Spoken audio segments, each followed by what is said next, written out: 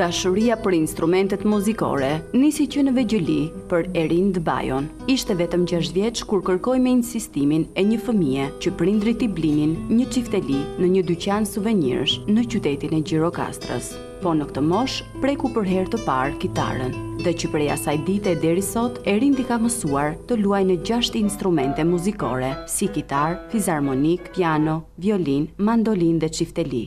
Interesi i parë fare më ka lindur këtu në Gjirokastër, në pazarin e Gjirokastrës, kur kam qenë i vogël, para se të futesha në klasën e parë, kam parë një çifteli, në pazarin te këto suvenire dhe i kërkoja babit i kërkoja kitarë dhe, dhe kur shkuam në Tiranë Ku e morët në tërko këto çiftelinë e bletë?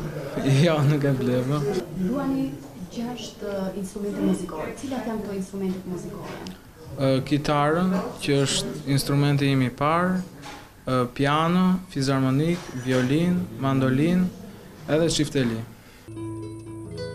Ai u bë pjesë në çeljen e aktivitetit të përvitshëm në Teatrin Antik të Adrianopolit në Festivalin Ndërkombëtar të Filmit me Metrazh të Shkurtër, ku performoi dhe korri shumë duartrokitje.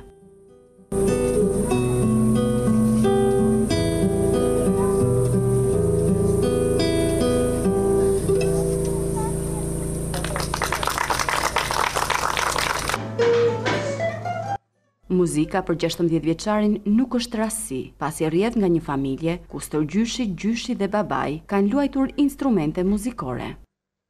Stërgjyshi im i ka pas rënë violinës, gjyshi fizarmonikës. Babai ka qenë në shkollë muzike për kitarë tetë vjet. Erindi ka marrë pjesë në shumë aktivitete kulturore, në festivale kombëtare dhe ndërkombëtare, ku është vlerësuar me çmime të shumta, por ajo që e cilëson si eksperiencën më të mirë është pjesëmarrja në Konkursin e Vjenës.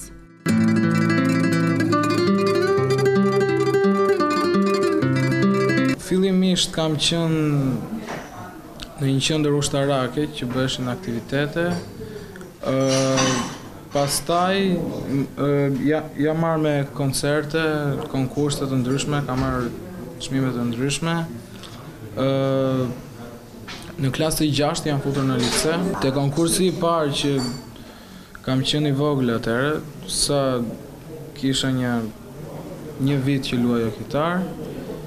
Mora çmimin e dytë, qe konkurs për kitarë këtu në Tiranë. Emocione s'para kam pasur, por eksperienca më e mirë që kam pasur ka qenë kur kam qenë në një konkurs në Vjenë. Aty ishte ishte një vend shumë i mirë, qe një qe një sallë mijëravjeçare ë dhe ajo më ka ngelur në mendje. Ndërkaq, Erindi tregon se ka shumë plane për të ardhmen. Unë mendoj që në të ardhmen do ta vazhdoj muzikën klasike, por mendoj që që të vazhdoj dhe muzikën e lehtë, tani po mendoj të krijoj grup ose të filloj me kompozimin e këngëve të ndryshme. Aktualisht kam filluar të këndoj kohët e fundit muzika e lehtë ose xhaz.